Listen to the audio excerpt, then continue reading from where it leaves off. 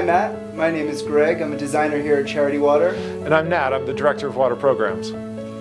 Matt, after hearing about your story of climbing Mount Kilimanjaro, I was so inspired.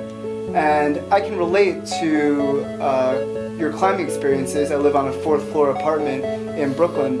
Um, so I thought it would be easy for me to also climb Mount Kilimanjaro. And it turns out I was wrong and uh, got myself into quite a little predicament. So Greg ran into some trouble, but you managed to successfully climb Kilimanjaro and raise almost $14,000 for water programs.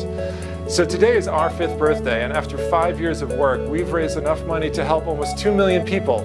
Over 2 million people uh, get access to clean water, and we couldn't have done that without your help. So thank you for your work, for climbing Mount Kilimanjaro, and for inspiring Greg for his feats of climbing. Thanks, Matt. I'll get him next time.